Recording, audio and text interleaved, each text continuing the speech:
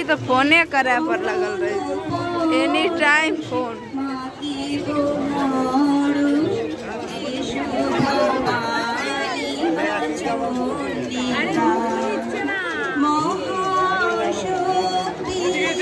ওদিকে যান